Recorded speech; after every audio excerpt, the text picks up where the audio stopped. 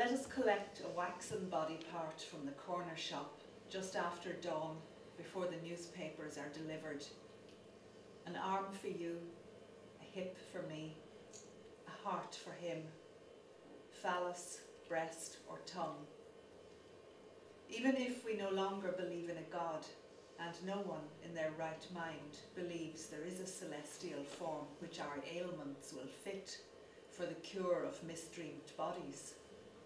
Let us take the waxen parts of the old aunt's failing limbs, the claw of her paralysed arm, her frozen right leg, trembling bottom lip, a tongue which forgets to close off saliva.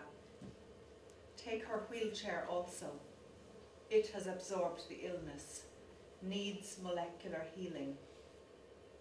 Take my daughter's S-shaped spine, the scar tissue on her left lung.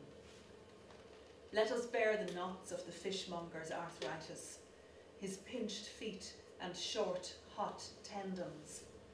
Lay them in wax on an operating table where belief in a God is not required.